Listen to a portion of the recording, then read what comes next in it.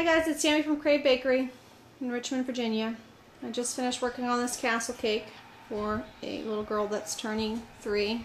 So a little figurine I did of her. Turned out pretty cool. I did the, um, the crown and the wand with the gold luster dust, which I love. But uh, it's my first time using an impression mat.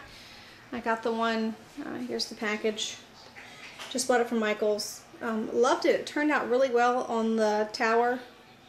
Uh, but when I went to do it for the the actual cake, I, I didn't do it up front. I actually tried to do it after I had it already on the cake. And uh, as you can see, it, it didn't really take very well. So the towers are uh, Rice Krispie treats stacked up with a dowel, wooden dowel through them. And the tower tops are um, just ice cream cones with royal icing.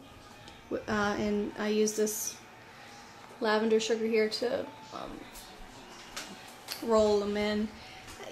You gotta watch that because it dries really quickly, so you gotta try to do them one at a time instead of doing them and then uh, rolling them in the in the sugar. If you have a helper, that would be even better.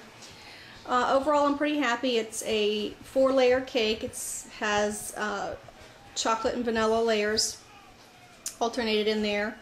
Yummy. With uh, marshmallow fondant on top. So, not too bad. I guess first time. Let me try to twirl it around here so you can, let's see.